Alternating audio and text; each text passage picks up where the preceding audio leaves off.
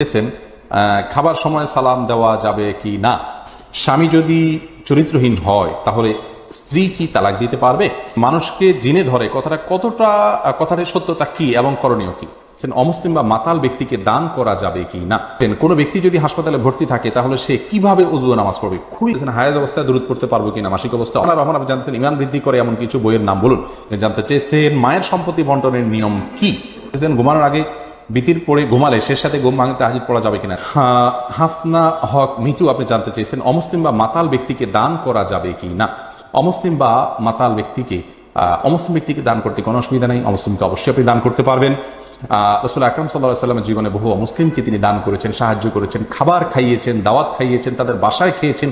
অতএব তাদের সাথে আমাদের এই মানে সদাচরণগুলো করতে আল্লাহ তালা নিষেধ করেন আল্লাহ তালা কোরআন বলেছেন লাই আনহাকুম আনুল লাই আনহাকুম আইন লেদিন আলাম ফিদ্দিন ওয়ালাম ইউখরিজুকুম মিন দিয়ারিকুম আন তাবাররুহুম ওয়া তুকসিতু ইলাইহিম। ইন্নাল্লাহা ইউহিব্বুল মুকসিতিন। নিশ্চয়ই আল্লাহ রাব্বুল আলামিন তোমাদেরকে বাধা দেন না অমুসলিমদের সাথে সদাচরণ করতে। যদি তারা তোমাদের উপরে যুদ্ধ চাপিয়ে না দেয়, তোমাদের দেশ থেকে বের করে না দেয় তার মানে সাধারণ মুসলিমদের সাথে সদাচরণ করার জন্য আল্লাহ তালা আমাদেরকে নির্দেশ করছেন এবং বলছেন যে আল্লাহ তালা সদাচরণকারীদেরকে বরং ভালোবাসেন। অতএব সদাচরণ অংশ হিসেবে তাদেরকে দান করা যেতে পারে, কোনো অসুবিধা নেই। আর মাতাল ব্যক্তিকে দান না করে তার জন্য উপযোগী কাজে খরচ করতে হবে। যেহেতু টাকা বা পয়সা বা কিছু দান করলে তিনি নষ্ট করবেন কোরআন করিম আল্লাহ তালা বলেছেন ওলা তুতু সুফাহা আমুয়া আলাকুম নির্বোধদেরকে তোমাদের সম্পদ তোমরা দিও না। অথবা আয়াতের আলোকে আমরা বুঝতে পারি যে মাতালদেরকে দান করা উচিত নয়।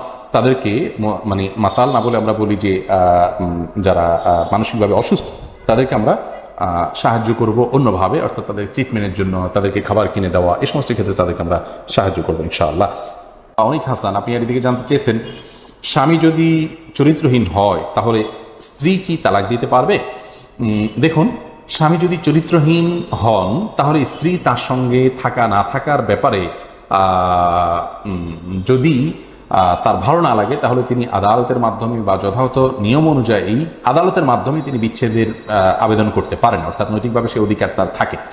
তিনি নিজে তালাক দিতে পারেন না। মেয়েরা আসলে তালাক দিতে পারে না। আল্লাহ তালা তালাকের দায় দায়িত্বটা পুরুষদের উপরে ন্যস্ত করেছেন। মেয়েরা তালাক গ্রহণ করতে পারে নিজের প্রতি অর্পিত তালাকের মাধ্যমে। অর্পিত তালাকের ওখানে কাবিননামার আঠারো নম্বর কলামে বাংলাদেশে যেটা লেখা আছে, সেটা ফিল যদি হয়ে থাকে এবং বিয়ের পরে স্বামী স্ত্রী উভয় যদি স্বাক্ষর করে থাকেন, বিশেষ করে স্বামী যদি স্বাক্ষর করে থাকেন, তাহলে অর্পিত তালাকের পাওয়ার স্ত্রী পেয়ে যান। সেটার উপর ভিত্তি করে তার নিজের প্রতি নিজে তালাক গ্রহণ করতে পারেন। ওই আঠারো নম্বর কলামে যে শর্তগুলো আছে, তার কোনোটা যদি লঙ্ঘন হয়। তার ভিত্তিতে এটাও যদি তার মধ্যে পড়ে, তাহলে তিনি তালাক গ্রহণ করতে পারবেন। আর তাসির আলী, আপনি জানতে চেয়েছেন, কোনো ব্যক্তি যদি হাসপাতালে ভর্তি থাকে, তাহলে সে কীভাবে উজু নামাজ পড়বে? খুবই গুরুত্বপূর্ণ এবং ইম্পর্টেন্ট প্রশ্ন। দেখুন, হাসপাতালে যখন থাকবেন, তখন তার হাতে যদি সুই থাকে, তাহলে সে অবস্থায় তিনি উজু করবেন, ওই জায়গাটা তিনি মাসাহ করবেন। শুধুমাত্র ভিজা হাত দিয়ে মাসাহ করে নেবেন। আর সুই থাকলে ওখানে যে কস্টেপটা থাকে, ওইটার উপর পানি দেওয়া যায়, পানি ভেতরে যায় না। অতএব পানি দিয়ে দিলেও চলবে, ওইটা উঠানোর প্রয়োজন নাই। আর যদি পানির ঢোকার আশঙ্কা করেন বা ক্ষতির আশঙ্কা করেন, তাহলে সেক্ষেত্রে ওইটার মাসে করবেন। আর বাকি যেগুলো আছে আশেপাশে, সেগুলোতে একটু করে পানি ঢুকে ধুয়ে অজু করবেন। আর যদি অজু করাটা তার জন্য অসুবিধা হয়, এরকম কোনো অসুবিধা হয়, যেমন কথা কথা হাত ভাঙা, তাহলে অন্যান্য অঙ্গ যদি কেউ ধুয়ে দিতে পারেন, ভালো।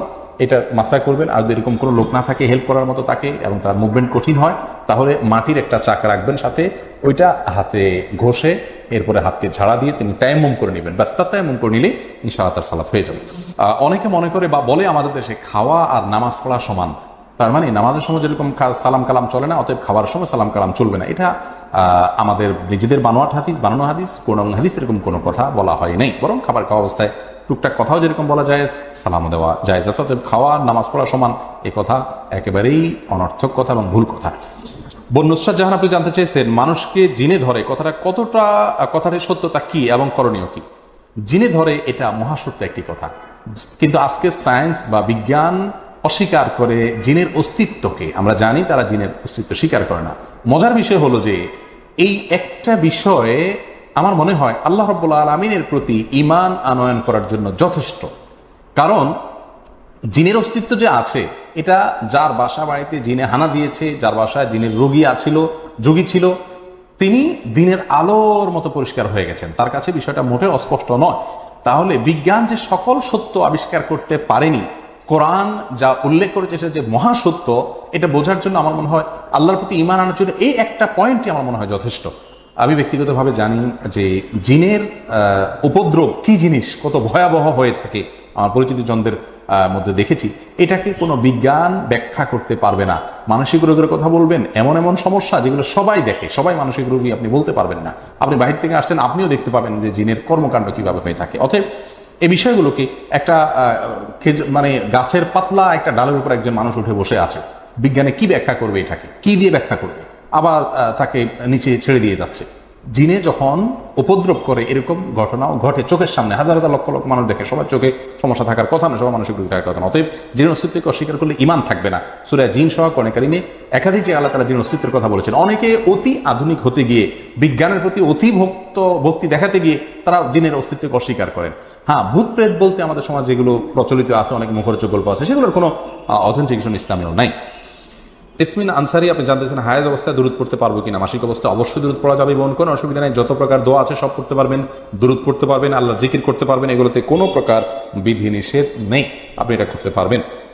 ফারহান রহমান, ফারহানা রহমান, আপনি জানতেছেন ইমান বৃদ্ধি করে এমন কিছু বইয়ের নাম বলুন। দেখুন, ইমান বৃদ্ধি করা করবে, এই এমন একটা বইয়ের নাম বলছি। যেটার নাম আপনিও জানেন, আমিও জানি, সারা বিশ্বের সমস্ত মুসলমানরা জানেন এটা হলো কোরআনে করিম। কোরআনে করিম এমন একটা বই যেটা পড়লে ইমান বাড়বে, অর্থ সহকারে বুঝবেন, ব্যাখ্যা সহকারে পড়ার চেষ্টা করবেন, অর্থ বুঝে পড়ার চেষ্টা করবেন। আল্লাহ তালা বলছেন ইদা তুলিয়াতে আলিম আয়াত জাতা তুমি ইমানা আমার আয়াত সমূহ যখন তাদের সামনে তেলাওয়াত করা হয়, পাঠ করে শোনানো হয় তাদেরকে, তখন তাদের ইমান বৃদ্ধি পায়। অতএব এই একটা গ্রন্থ, মহাগ্রন্থ আল কোরআন অর্থ সহকারে বুঝে পড়বেন। ইনশাআল্লাহ বিদিনিল্লাহ আপনার ইমানের বৃদ্ধির মাত্রা আপনি নিজে অনুভব করবেন, টের পাবেন। মিফতাহুল জান্নাত, আপনি জানতে চেয়েছেন মায়ের সম্পত্তি বন্টনের নিয়ম কি? মায়ের সম্পত্তি বন্টনের নিয়ম তা যা বাবার সম্পত্তি বন্টনের নিয়ম। অনেকে এটা নিয়ে ধোঁয়াশার মধ্যে থাকে এবং অনেকের সন্দেহ থাকে। দেখুন, মা হোক, বাবা হোক যে কোনো ব্যক্তির মৃত্যুর পর সম্পদ, বিশেষ করে মা বাবার ক্ষেত্রে সম্পদ বন্টনের নিয়ম একই। অর্থাৎ বাবার সম্পদ যে হারে পায় ছেলে মেয়েরা মায়ের সম্পদ একই হারে সন্তানরা পাবেন, লাভ করবেন। নাতিদের ক্ষেত্রে, অন্যান্য ক্ষেত্রে যে বিধান বাবার ক্ষেত্রে, মায়ের ক্ষেত্রে একই কথা হুবহু প্রযোজ্য। আর এইভাবে জানতেছেন ঘুমানোর আগে বিতির পড়ে ঘুমালে শেষ সাথে ঘুম ভাঙতে তাহাজুদ পড়া যাবে কিনা? যাবে। বিতির পড়ার পরে সন্ধ্যা রাত্রে বিতির পড়ার পরে শেষ সাথে তাহাজুদ পড়ে পড়া যাবে। বিতির আবার পড়ার দরকার নেই। হাদিসে রসুল আকরম সাল্লাহ সাল্লাম যদিও বলেছেন এই যে আলু আখেরা সালাতকুম বিল্লাই তোমাদের আহ, আহ, আহ, এই যে আলু আখেরা সালাতকুম বিল্লাই ভিতরা ও কামা কাল অর্থাৎ বিতিরকে তোমাদের রাতের শেষ নামাজ হিসাবে রাখবে। এটা নবী সাল্লাহ সাল্লাম বলেছেন, অতএব চেষ্টা করা উচিত শেষ রাতে নামাজ পড়া। কিন্তু কেউ শেষ রাতে উঠতে পারবেন কিনা সেই সন্দেহের কারণে আগে পড়ে থাকেন, কিন্তু আল্লাহ তালা উঠা তৌফিক দিয়েছেন। এখন তিনি তাহাজুদ পড়তে পারবেন, কারণ নবী সাল্লাহ সাল্লাম থেকে বহু এরকম আমল প্রমাণিত রয়েছে। আজকে সুজাত হোসেন আপনি জানতে চেয়েছেন খাবার সময় সালাম দেওয়া যাবে কি না? ভাই, সুজাত, খাবার সময় সালাম দেওয়াতে কোনো অসুবিধা নেই। খাবারের সময় সালাম দেওয়া যেতে পারে সালামের উত্তরও দেওয়া যেতে পারে। খাবারের সময় আমরা সাধারণ যে কথাবার্তাগুলো বলি, সেগুলো যেরকম জায়েজ, সালাম দেওয়া একইভাবে জায়েজ রয়েছে, কোনো অসুবিধা নেই।